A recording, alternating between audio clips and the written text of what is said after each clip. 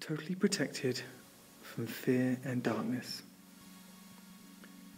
Would you like to be protected from all fear, all darkness, all spiritual threats, all form of anxiety, pessimism, and hopelessness?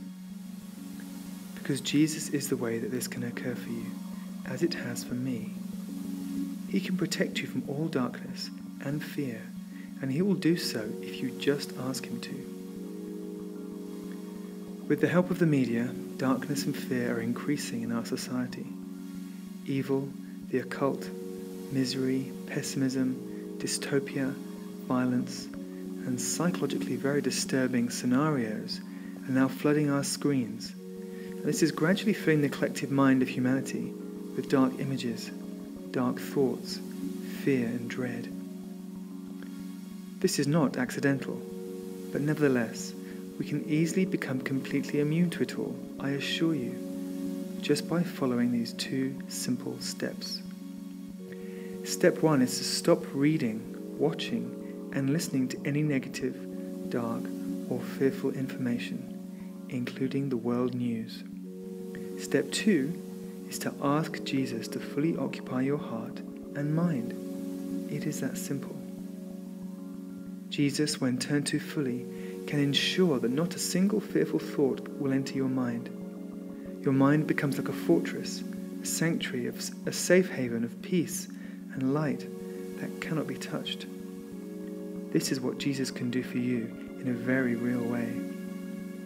This is exactly what he has done for me since I recognized his existence and allowed him to be fully with me, to inhabit my heart.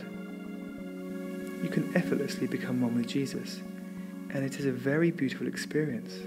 Most beautiful, in fact.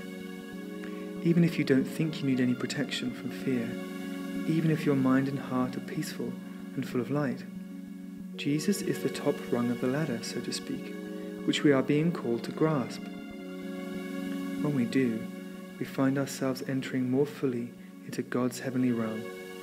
Again, this is a very real experience that anyone can have. And to not want to experience this is like not wanting to receive the best gift that has ever been offered to you in your whole life. Imagine something that you've deeply longed for all of your life so very much, and one day it is offered to you. Nothing in your mind would say, hmm, maybe I won't accept this. You wouldn't consider it or weigh it up for a moment. You would accept it immediately, gratefully and joyfully, hardly believing that it could be true. But it is true. The deepest and most precious gift your heart has ever longed for is being offered to you. Your mind may judge it, or it may not even recognize it, and your ego may not like it. But your heart is longing for the divine fulfillment, which is an offer with Jesus, even if you don't realize it. If you could just become humble enough to accept that this might indeed be true, and just say yes to Jesus and see what happens, just like a science experiment, you will soon discover that your heart will feel more secure, more joyous, enriched, empowered, and even in raptures just because you said yes. It's usually only pride that stops people doing this, and sometimes fear also. But knowing Jesus means the end of fear, to be replaced with total trust. And it means the end of pride, to be replaced by humility. So that's all you need to do. Say yes in your mind to God's most magnificent gift for you. Jesus' protection, enlightenment, and salvation. It is like a life raft in increasingly cold and turbulent waters, and I urge you to jump aboard while you can. This spiritual life raft is very real. It is on offer to you right now and it will signify the departing of all malady, fear, and darkness from your soul.